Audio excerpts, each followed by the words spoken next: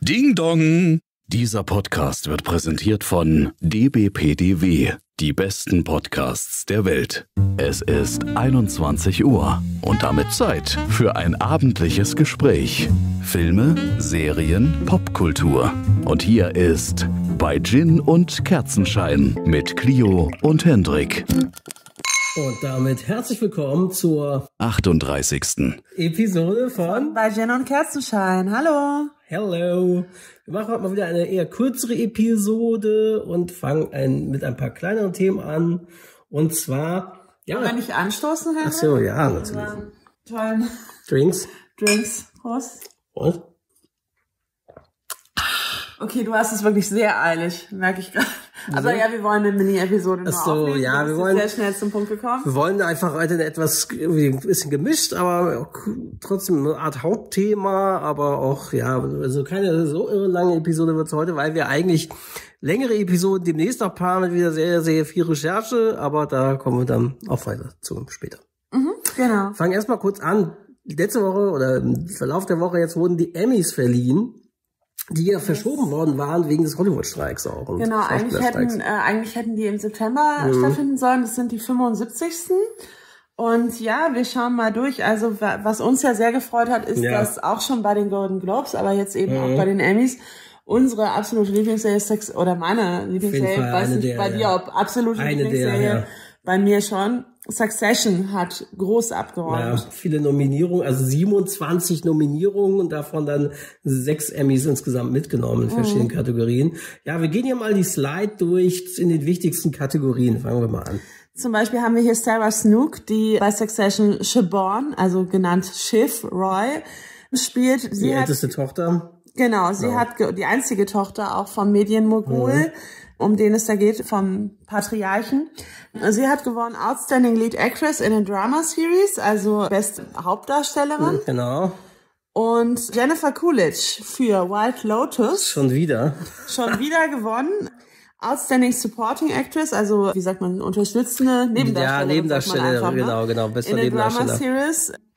Jennifer Coolidge, die man noch als Stif Stiflers Mom kennt. Genau, hatten wir, aber wer Näheres hören will, hört sich einfach die White Lotus Episode von uns an, die wir vor knapp einem Jahr aufgenommen haben. Ja, so lang schon her, ne? Genau. Ja. Also immer noch absoluter Tipp, White Lotus. Dann haben wir wieder aus Succession als Outstanding Supporting Actor, bester Nebendarsteller in einer Dramaserie Matthew McFadden. Der spielt die Rolle Tom Wormsgans. glaube, Ein er ganz heißt- toller Name. Ich glaube, er heißt Matthew McFadden, aber. McFadden. Oder? Ja, stimmt. Und ja, er meinte, wie- ich glaube, bei seiner Rede meinte er auch, wie sehr ihm diese Rolle Tom Wormscans ans Herz gewachsen sei. Und dann korrigierte er sich. Spoilerwarnung. Hendrik spoilert jetzt in den nächsten 30 Sekunden quasi das Ende der Serie Succession. Wer diese kongeniale Serie noch selbst bingen möchte, sollte die nächsten Sekunden vielleicht besser überspringen. Also seid gewarnt. Ich sollte ja sagen, CEO Tom Wormscans. Also es ist ein kleiner Spoiler für alle, die ein die sehr sehen. großer Spoiler. Spoiler. Das ist eigentlich der Spoiler, Ja, upsie. den man machen kann. Ja, vielleicht sollte ich vorher eine kurze Spoilerwarnung an dieser Stelle setzen, wer sie sich nicht spoilern lassen möchte. Ja, Der Ausgabe genau. von Succession jetzt doch noch Bock hat, die wie viele Staffeln? Vier oder fünf waren es, Ja. glaube ich, äh, wegzubingen. Der, ja, überspringt es dann. Ja, wäre besser. Genau, Beef haben wir noch nicht gesehen. Von Ähm, Netflix, genau. Wurde ausgezeichnet als beste Limited- oder Anthologieserie, also als abgeschlossene Serie. Miniserie, Bei uns genau. man Miniserie sagen, Genau. genau. Beef muss ganz, ganz toll sein. Müssen wir uns auf Hat jeden auch Fall viele noch Kategorien, ist von diesem tollen Studio A24, Mhm. dieses Independent-Filmstudio, das so viele tolle, bahnbrechende Filme in den letzten Jahren auch unter anderem dieser Parallelwelt, wie heißt er, Everything Everywhere All at Once und so weiter. Mhm. Also die machen ja einfach so viele gute Indie-Filme inzwischen und produzieren inzwischen schon mehr als Major Studios wie Paramount. Mhm. Oft auch mal einen leichten Trash-Vibe mit dabei und so und, und Genrekost, aber immer mutige, unkonventionelle Stoffe, die sie meistens Genau, machen. in Beef geht es um einen Streit, der immer weiter eskaliert und sowas liebe ich als Prämisse. Wenn Mich Sachen erinnert das ein das bisschen, immer also diese, gut. dieses, mich erinnert das ja ein bisschen an, ich weiß nicht, ob du den kennst, äh, den müssen wir eigentlich mal gucken, auch ein guter Film von, glaube 99, 2000 rum, mit Ben Affleck und Samuel L. Jackson. Mhm. Spurwechsel hieß der auf Deutsch. Ich weiß jetzt gerade gar nicht, wie der auf Englisch hieß. Habe ich tatsächlich nicht gehört. Der von, ist, ist ich. so, so nämlich während eines glaube, Staus im Feierabendverkehr, so ein Streit zwischen zwei Leuten da irgendwie eskaliert, nämlich Ben Affleck und Samuel L. Jackson. Ja, sowas finde ich super. Ja. Genau. Da fällt mir auch wieder White Chase ein, dieser Ja, stimmt, Episodenfilm, den wir gesehen ja. haben, wo auch ein Streit um einen, einen Streit auf, auf einem Highway einfach, Mhm. also es ist kein amerikanischer Highway, das spielt in Argentinien. Eine Autobahn White oder- ja. Auf einer Autobahn so ein Streit so eskaliert Ja. in einem, einer Episode des Films, ganz super. Genau, dann haben wir hier als nächstes Jeremy Allen White aus The Bear, der Serie, hat den besten Hauptdarsteller einer Comedy-Serie gewonnen. Ja, und viele sagen immer wieder, ja, das ist ja gar nicht so sehr Comedy, es ist ja auch Drama, aber damit sie nominiert ist, weil es halt ein kürzeres Format ist. Ich glaube, die Folgen gehen halt nur maximal um die halbe Stunde. Und da werden dann solche Serien gerne, selbst wenn sie eher Drama oder Dramedy sind, oft in Comedy geschoben. Ja, warum auch immer, weil es halt so ist. Ja, und Jeremy Allen White kenne ich natürlich noch aus der Serie Shameless, mit der er bekannt geworden ist. Und die Serie ist auch von den Shameless-Machern The Bear.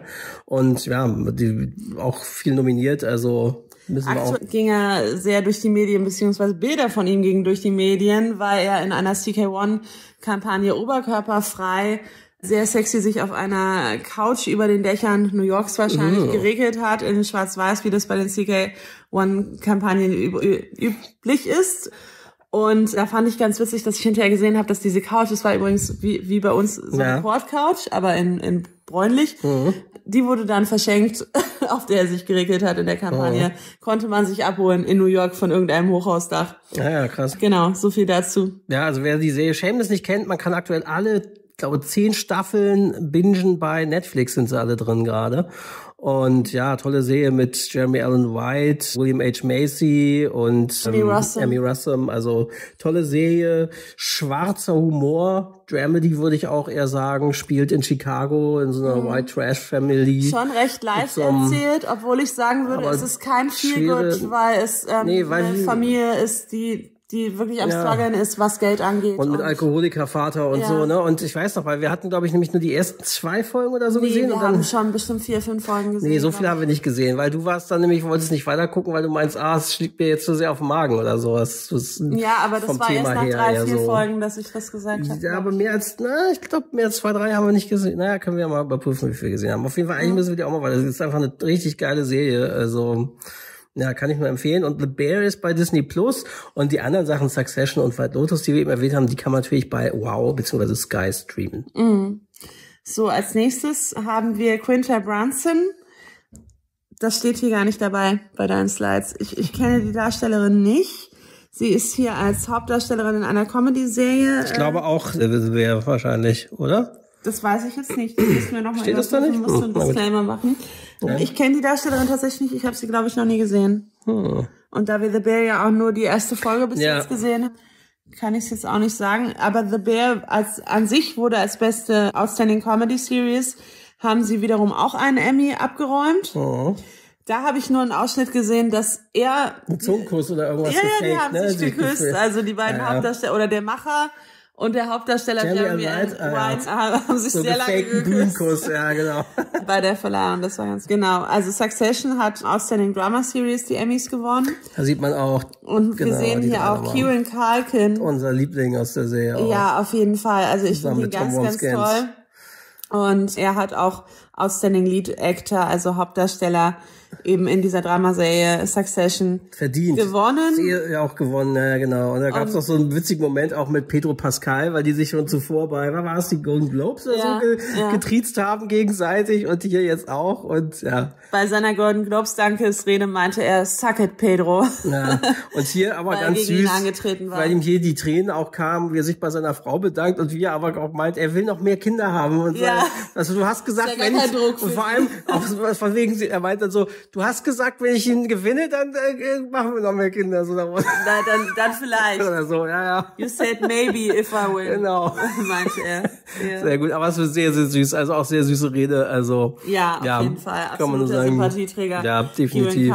Und selbst in der Serie, obwohl er da ein Arschloch spielt, Ja, halt wirklich der ein, und- ein charmantes Und Arschloch. aber auch ohne zu viel zu verraten, der hat dann teilweise auch gerade in der letzten Staffel solche Szenen, wo er zusammenbricht auch Ja. richtig und man richtig ihm das abkauft, wie er da am Weinen ist. Ja. Also so toll gespielt. Ich, könntest du noch mal empfehlen, Succession einfach eine. Wir haben als Succession, wir haben über Succession immer nur häppchenweise geredet. Wir haben als Succession gar keine Einzelepisode gewidmet, weil wir haben über Last of Us geredet, über Ja. Mhm. über White Lotus und so. Wir werden eigentlich auch irgendwann mal eine Succession-Episode machen müssen, weil die oder vielleicht sogar einen ganzen Succession-Podcast, weil diese Serie ist auch so, dass man so viel analysieren kann und interpretieren kann.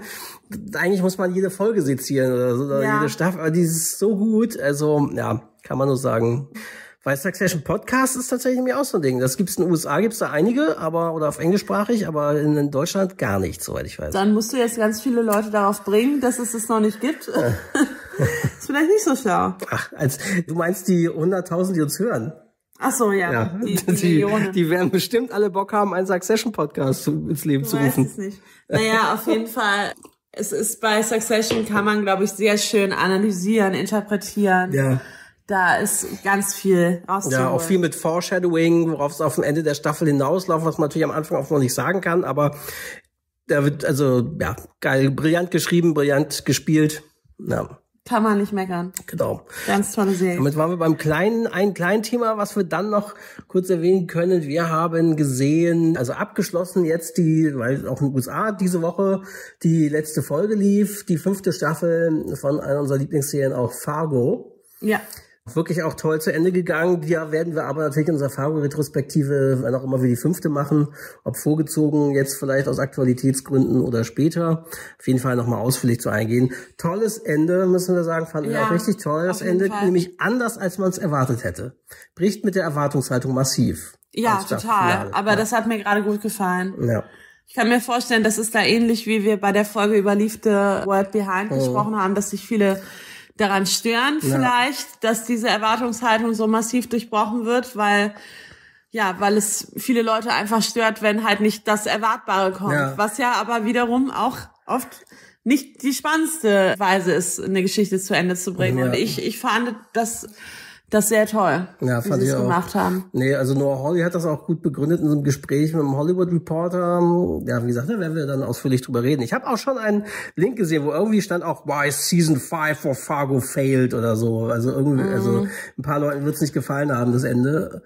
Aber Naja, ja, vielleicht die Person, die das geschrieben hat, muss sich ja nicht nur am Ende gestört haben. Vielleicht war, hat sie sich insgesamt daran ja, gestört. keine Ahnung. Aber, Aber- wir fanden es großartig und werden auf jeden Fall darüber dann. Genau, ich Noch fand vor allem Juno Temple ganz toll. Ja. So, wir wollten noch über einen Film reden, den wir gesehen was haben. Einen Film, dessen Original 1966 gedreht wurde mit Michael Caine in der Hauptrolle und das Remake ist von 2004. 20 Jahre alt schon, muss man sagen. Auch schon wieder 20 Jahre alt, das Remake, genau. Und wir reden über den Film, weil so schlecht gealtert ist. Ja, und auch rückblickend man sagen muss, ja, was der für zweifelhaftes Bild, gerade auch bei jungen Menschen, die ihn vielleicht sehen, ich kann da auch noch anekdotenmäßig was zu erzählen. Ja, also auf jeden Fall, genau, der Film heißt Alfie mit Jude Law in der Hauptrolle und das Original, Original heißt hieß auch auch Alfie. Alfie, im, äh, von 66 mit Michael Caine. Auf Deutsch hieß der aber, ja, jetzt habe ich schon wieder vergessen, so ein längerer deutscher Titel. Wie hieß der? Das, Verführung? der Verführer lässt grüßen, ja, hieß er. naja. Genau, hieß das Original. Wir werden jetzt nicht die ganzen Plot erzählen, aber die grobe Handlung kann man ja schon mal Ja, erwähnen. also Alfie ist in dem, wir reden hauptsächlich über das Remake, also gespielt von Jude Law, ist ein Brite, ja, ein britischer Chauffeur, der aber sein, seine Chauffeurtätigkeit in äh, New York, in Manhattan auslebt und er ist eben ein Womanizer, Oh. was sie nicht doll genug betonen können die ganze Zeit, wie gut er bei Frauen ankommt und er er durchbricht die vierte Wand in Ja. dem Film die ganze Zeit, indem er quasi dem Zuschauer erklärt, ja, letztendlich, wie man besonders toll die Frauen rumkriegt. Ja, wie so ein Pickup-Artist eigentlich auch so ein bisschen, wie man Eigentlich, dazu ja. sagt. Interessanterweise, der alte Film hatte zehn Jahre später oder neun Jahre später eine Fortsetzung, wo es nicht mehr Michael Caine war. Und dort ist wiederum der deutsche Titel irgendwas mit der Schürzenjäger. Mhm. Und das finde ich ist ein interessanter Begriff. Und eigentlich trifft es auch noch auf diesen neuen Film natürlich zu, auch wenn es ein äh, antiquierter Begriff ist, den man heutzutage nicht mehr so benutzen würde in Deutschland. Aber er trifft, im Kern trifft es ziemlich gut. Elfie ist definitiv ein Schürzenjäger. Ja. Und das finde ich eben auch sehr schade, dass der Film sich nur darauf konzentriert. Und ich habe vorhin bei der Kurzrecherche Kritiken dazu gegoogelt und tatsächlich gibt es auch einige nicht besonders gute Kritiken, weil der Film eben vieles einfach belanglos und sehr, sehr oberflächlich ist.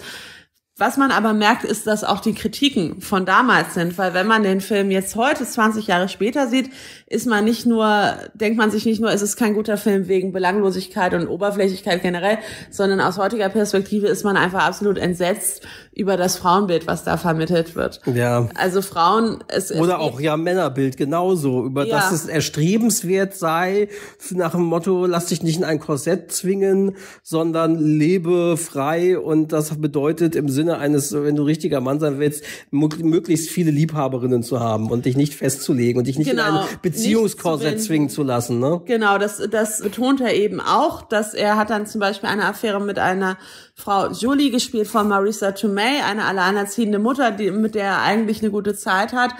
Aber das wird dann auch erzählt, sobald bestimmte Begriffe fallen, die hat darauf auch schon ein schließen Kind, ne? lassen. Genau. genau Die ist sie alleinerziehende genau. Hm. Sobald die Frauen Begriffe fallen lassen, die darauf schließen lassen, dass sie, dass sie eine Bindung erwarten und so erzählt das halt auch, indem er eben die vierte Wand durchbricht. Er erklärt ja immer das begleitend, was gerade passiert dem Zuschauer und dann sagt er dann in dem Moment, bei diesem Satz ist bei ihm klar, dass er jetzt langsam weiterziehen muss. Und Oh. ähm, also genau das Männerbild, was dadurch vermittelt wird, von wegen, dass es so cool sei, sich nicht zu binden und immer weiterzuziehen, das ist halt genauso fragwürdig. Und was ich halt wirklich ganz schlimm finde, sind halt einzelne Szenen, wo er dann zum Beispiel mit seinem besten Freund in, in einer Bar sitzt und es kommt eine Frau auf ihn zu, die er offensichtlich heute, würde man sagen, geghostet hat. Damals gab es den Begriff noch nicht, aber die er dann nicht, nicht mehr angerufen hat und sie stellt ihn quasi zur Rede, sagt erst so, ach, na, hallo Fremder und man merkt, dass Ja. er sie wirklich erstmal nicht erkennt und dann ist sie aber wieder anscheinend einen beleidigt weg. One-Night-Stand oder eine Kurzzeitaffäre, keine Ahnung, irgend sowas. Genau. Sie geht dann wieder beleidigt vom Tisch weg und dann ist es ihm wieder eingefallen, wer sie ist und sein bester Freund fragt oder er erklärt dann seinem besten Freund, warum, warum er das mit ihr nicht weitergeführt hat. Und der Grund ist, sie hat Haare an den Armen. Das geht natürlich gar Ja, oh nicht. Gott. Solche so Szenen sind es Szene, halt, also das ist die einzige Begründung. Also man hätte es ja auch so erzählen können, auch damals schon, dass es charakterlich nicht gepasst Ja, hat. sie hat ihn der genervt, keine Ahnung, Grund. aber das sei der Grund, ja, wegen Behaarung, Genau. Körperbehaarung, für die man ja auch als Mensch nicht kann, unterschiedlicher Natur und was etwas ganz Natürliches ist. Also es ist Ja. auch eine völlig fragwürdige Message, die da vermittelt wird, von wegen alle Frauen schön glatt rasiert, immer äh, Ja. gestriegelt und geschniegelt. Also als Mann sind- ist es egal, aber als Frau soll es so sein, ne? Ja, genau. das sind halt Szenen, ja, die, die, die vor allem aus heutiger Perspektive wirklich richtig schlecht gealtert sind, was mich auch aufgeregt hat. Irgendwann kommt dann, er stellt dann an Heiligabend fest, dass er doch recht alleine ist, eben durch, durch seine Bindungsangst und zieht dann aber durch, durch die Straßen und begegnet dann einer Frau Nikki, gespielt von Sienna Miller, die ihn dann doch sehr fasziniert durch ihre Schönheit und dass sie aufregend ist. Und dann wird eben auch da erzählt, dass er da mit ihr dann zumindest etwas länger eine Art Beziehung, eine hat, Beziehung ne? eingeht. Genau.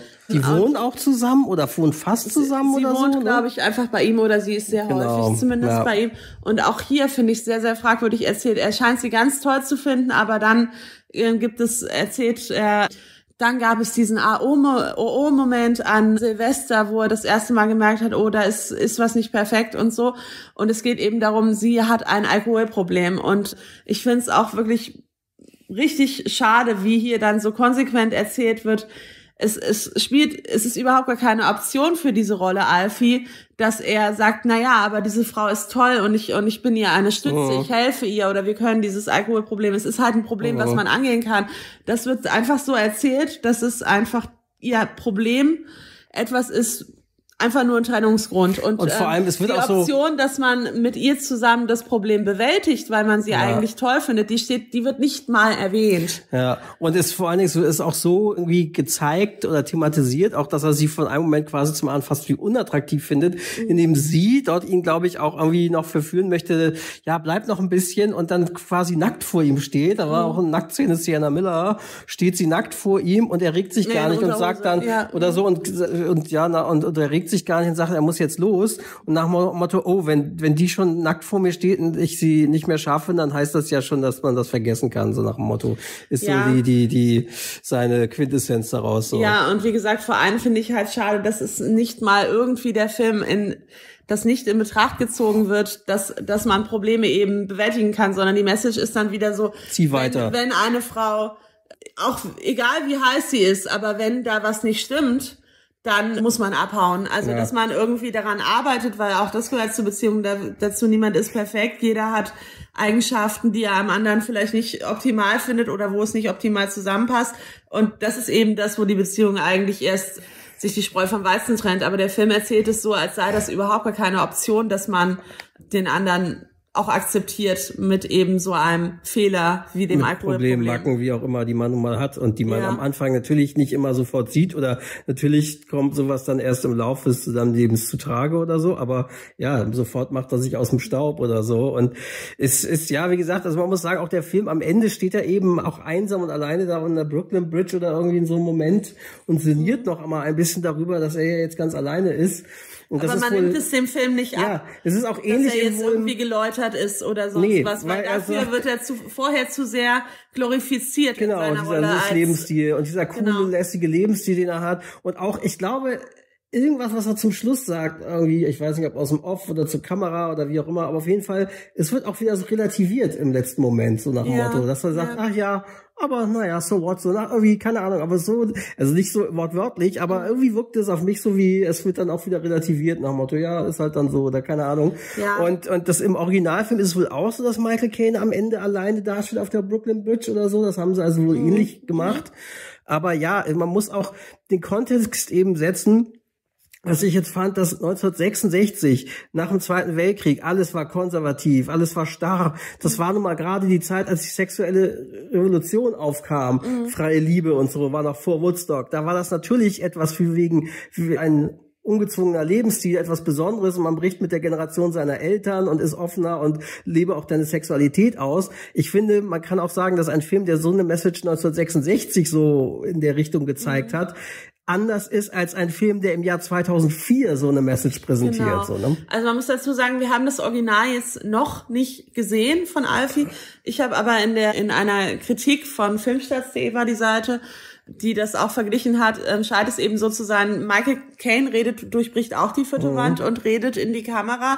Da scheint es aber so gewesen zu sein, dass man ihm das abnimmt und wirklich das Gefühl hat, man hatte einen, einen Einblick in seine Seele, wenn, wenn er in die Kamera redet, wer- Kamera redet, während es bei Jude Law einfach wirkt wie Ego-Gewichse, wie narzisstisches, ja, also als ob er sich vom, vom Spiegel betrachtet und das eben ab, trotzdem, und das ist Ja. eben auch das Ding, der Film feiert Jude Law in seiner Coolness ab und deswegen nimmt man halt dieses, am Ende steht er alleine da, das nimmt man dann dem Film nicht ab, dass das jetzt irgendwie Ja. die Moral der Geschichte sein soll, dass das alles so oberflächlich war. Dazu wird Jude Law zu sehr abgefeiert in seiner Ja. Lässigkeit und seinem guten Aussehen. Und anscheinend war es original, muss man halt auch sagen, das war 1966 und da waren Themen, die auch auftauchen, äh, auch in dem Remake auftauchen, wie ähm, also er schläft der besten Freu der Freundin seines besten Freundes. Die sind zwar zu dem Zeitpunkt getrennt, aber er weiß, dass der beste Freund ihn sie wieder haben will und da geht es dann um eine mögliche Abtreibung. Oh, Und diese Themen wie Abtreibung oder Ehebruch oh. waren damals halt wirklich noch schockierend zu dieser Zeit. Und damit hast du auch schon 2004 aber niemanden mehr hinterm Ofen vorgelockt, dass das Oh. jetzt irgendwie, also das hat dann zu der Zeit, auch wenn das jetzt auch schon wieder 20 Jahre her ist, halt niemanden mehr schockiert. Also den, den Und Charme, zumindest wenn man so erzählt, ne? Ich Ja. finde, du kannst auch heutzutage, das sieht man ja auch in vielen guten Serien, Mhm. siehe Succession oder auch Shams oder sonst wie so. Es gibt ja Serien, die das auch sowas thematisieren wie Mhm. Ehebruch und, und Abtreibung und solche Geschichten. Mhm. Und ist aber viel gefühlvoller und intensiver erzählen. Ja. Wenn du es so beiläufig und so komisch erzählst, keine Ahnung, es ist, Ja. ist äh, Also da scheint einfach, das Remake hat man auch damals schon so empfunden, anscheinend die meisten Kritiken, dass es einfach nicht gelungen ist. Das war auch Obwohl ein veritabler es Flop, schon ne? Tolle Darsteller sind. Also man kann ja Jude Law nicht vorwerfen, nee, auch Maya Long. Mr. Tomei, die sind alle tolle Darsteller, definitiv. Ganz genau, Susan Sarandon haben wir auch dabei. Auch, auch sie spielt toll. Also es liegt nicht an den Darstellern. ich habe das Gefühl, dass der Film einfach schlecht geschrieben ist. Ja, ja und Oder ähm, die falschen Schwerpunkte auch gesetzt hat im Drehbuch. Und, das, und, Und in der, in Regie der auch. Darstellung, So. also Interessanterweise, also das, die Songs sind noch ganz nett so. Der Soundtrack ist halt auffällig. Ganz oft hört man dort Mick Jagger. Der Mick Jagger hat den mitkomponiert, den Soundtrack. Ja, und die, aber die Stilästhetik, er ist auch komisch gefilmt. Was mir gleich als erstes auffiel, als die ersten fünf Minuten schon dachte ich, das sieht ja aus wie in irgendeiner Serie der späten 90er, frühen 2000er, die Kameraarbeit. Obwohl du da New York siehst, wirkt das wie so ein billiges Filmset. Ja. Was aber nicht daran liegt, dass das nicht wirklich New York gedreht ist, sonst wurde New York gedreht, sondern Ausleuchtung, Kamera, Schnitt und so. Ja. Und es war wohl so, dass der Film damals als recht stylisch galt, weil der so eine bestimmte Art der Stilistik hatte. Mhm. Ich fand, dass die, Aber heute- dass die Farben halt alle überhaupt nicht zusammenpassen. Normalerweise, wenn du einen Film hast, wird darauf geachtet, dass das alles ein bisschen harmoniert oder wenn es Kontraste gibt, dass die Kontraste extra hervorgehoben sind und das hast oft auch bei vielen Serien.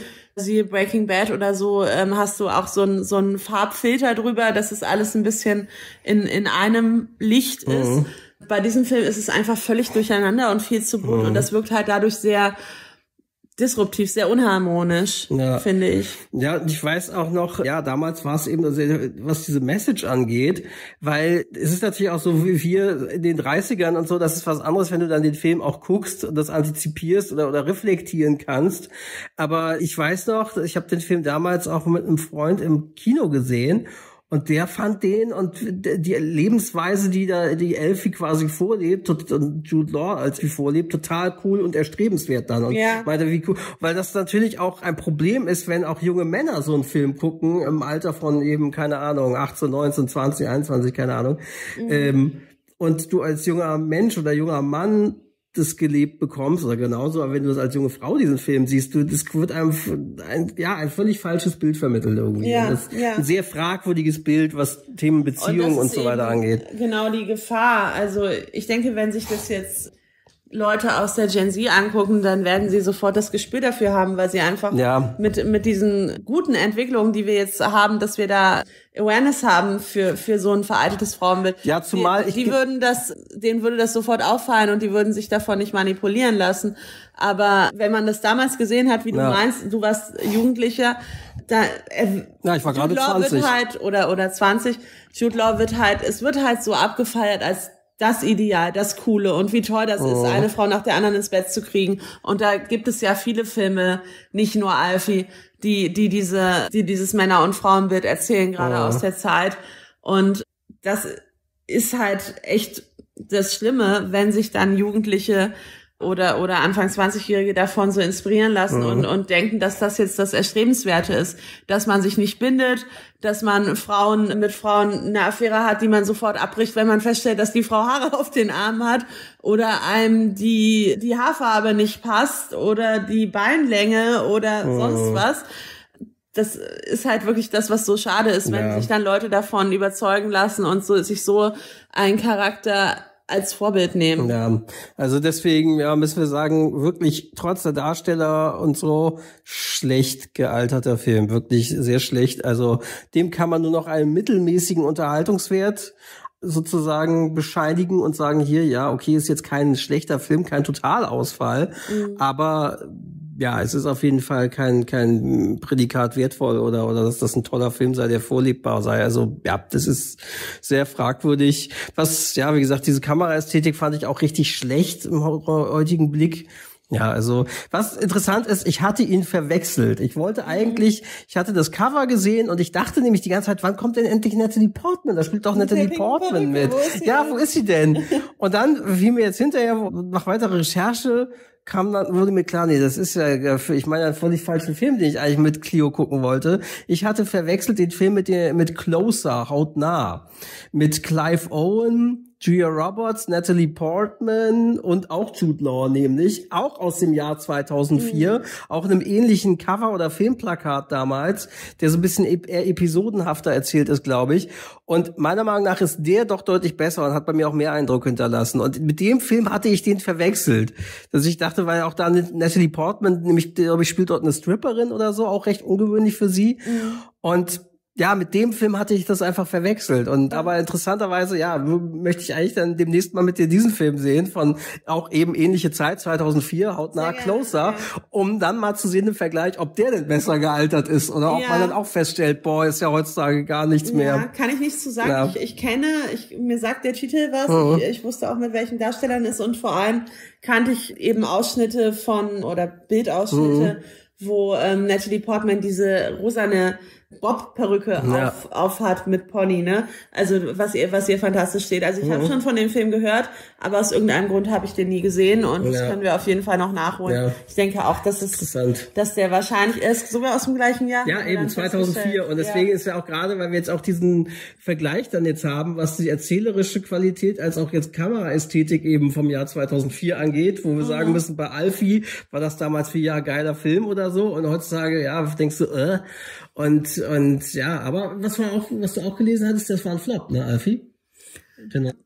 Wie, der, Oder? das Remake? ja. Ach so, genau. Ja, stimmt. Jetzt habe ich den Artikel wieder geschlossen. Also das Budget war weit über den Einnahmen. Also man kann es auch als finanziellen Schiffbruch bezeichnen. So zumindest hat es der Artikel, in dem ich das gelesen hatte, ausgedrückt. Auf jeden Fall war also, es ein Flop, finanzieller Flop. Das ist alles. Was es, man es war ein, ein großer Flop. Er hat sein sehr hohes Budget bei weitem nicht eingespielt. Ja. Also das war ein Totalverlust. Der alte Film Elfie, wiederum mit Michael Caine, interessanterweise, der muss damals recht erfolgreich, zumindest bei Kritikern gewesen sein, weil er war damals bei den Oscars nominiert, sowohl als bester Film als auch Michael Caine als bester Darsteller für die ja. Oscars. Also die haben den damals auf jeden Fall besser aufgefasst irgendwie. Ja. Das müssen wir noch nachholen, dass wir mal das Original gucken. Definitiv. Werden wir da auch nochmal drüber erzählen, wie. Auch ein Darsteller, den ich mir sehr gerne angucke. Was ich noch interessant fand, das fand ich schade, aber vielleicht hat sogar Michael Caine aus dem Grund gesagt, er macht da nicht mit, weil es taucht in dem Neuverfilmung Elfie taucht eine Figur auf, die Jude Law in der Arztpraxis beim Urologen trifft. Ja. Und so sein, wie sein Mentor ein bisschen. Das wirkt wie so ein bisschen wie, ja, so sein, sein dahin könntest du dich entwickeln, Ding. So nach dem Motto, ich bin so wie du, nur in irgendeinem älter oder so, so wie du warst, war ich in der vor 30 Jahren oder vor 40 Nee, aber er Jahren. hat, naja, vielleicht kurz, aber er, er ist so ein bisschen väterlich zu ihm, aber mhm. er hat mhm. doch dann auch erzählt, dass er jahrzehntelang mit derselben Frau zusammen ja. war, die jetzt leider nicht mehr lebt. Davon ja, ist Law ja weit entfernt. Ja, aber er hatte also aber, glaube ich, am Anfang schon erzählt, dass er auch mal so ein Schutzjäger ja, war. Ja, ja, aber und, dann eben diese Frau genau. getroffen hat. Also er bringt ihn zum Nachdenken und das wäre natürlich naheliegend gewesen und wahrscheinlich war es auch so geplant, dass Michael Caine diese Rolle gespielt eben, hätte. Das, also da hätte ich gedacht, man, wäre das jetzt Michael Caine gewesen, wäre das auch mal ein geiler Not gewesen, ein geiler äh, kleiner mhm. Gag oder oder oder so verstecktes Easter mhm. Egg an den alten Film und wäre auch deutlich besser gewesen. Aber ja, Michael Caine ja, wahrscheinlich hat der auch gesagt, nee, ich habe kein Interesse daran. Also, mm, Auf jeden Fall, es schrie geradezu danach, dass man diese Rolle in der Neuverfilmung mit Michael Caine besetzt. Mm. Naja. Ja, das war's dazu. Und erstmal, ja, und dann. Dann war das jetzt ein, ein, ein, eine kürzere Folge, um ja, euch aber, aber auch nicht hängen zu lassen, wollten wir auf jeden ja. Fall eine machen, bevor wir uns wieder noch genauer recherchierten, längeren Themen wieder widmen wollten wir auch mal statt immer nur Empfehlungen auch uns auch mal auslassen, wenn man etwas genau. nicht empfehlen kann. Genau, ja, oder es ist vielleicht trotzdem oder gerade deswegen auch nicht, auch mal, nicht ja. uninteressant, sich das ja, heute noch anzugucken. Weil, ja, weil es wie gesagt, also wenn es ist natürlich auch so, wenn unser Podcast alles immer nur abfeiert, dann ist es natürlich auch irgendwann so, hä, die finden ja alles, wovon sie erzählen oder was sie finden sie ja gut und alles eine Empfehlung. Ist natürlich schwierig, wenn du halt so viele gute Serien auch siehst. Natürlich sind dann auch viele Sachen einfach Empfehlungen und Tipps. Aber ja, wie gesagt, wenn du dann so einen Film mal siehst, dann muss man auch sagen, enttäuschenderweise, ja, der ist nicht gut gealtert, aber wer Interesse halber ihn sich angucken mag, so, ne, bei mhm. Paramount Plus unter anderem online, ist, ist es, ja, ja, kann man das. Um euch aber nicht ganz ohne Tipps zu lassen, möchte ich noch ganz kurz erwähnen, was wir gestern Abend fertig geguckt haben. Auf Prime könnt ihr gerade streamen Triangle of Sadness. Absolute ja. Empfehlung. Ein, ein Film, der auch in Cannes, glaube ich, abgeräumt hat. Festival und auch im Auslands-Oscar zumindest nominiert war. Ich weiß gar nicht, ob er ihn gewonnen hatte vor ein, zwei Jahren, aber nominiert war auch als Auslands-Oscar. Viele werden ihn wahrscheinlich schon gesehen haben. Falls nicht, Triangle of Sadness. Ja. Ähm, sagen wir jetzt gar nicht viel zu. Schaut ihn euch einfach an. Wir wussten, glaube ich, auch so gar nichts drüber. Naja, also, also das ist eine Gesellschaftskritik oder ja. Gesellschaftssatire sein soll. Ja, wusste ich. Ich wusste nicht in welcher Hinsicht. Ein bisschen da hatte es White Lotus Vibes, ein bisschen Eat the Rich aber in eine Richtung, wie du sie nicht erwartest, auf jeden genau. Fall. Und deswegen macht es so interessant auch. Das, falls ihr noch einen Tipp fürs Wochenende Genau. benötigt. Ja. Und jetzt schicken wir euch in äh, die die nächsten neue- zwei, Wochen zwei Wochen, und genau. wünschen euch eine gute Zeit. Ciao. Bis dann, ciao.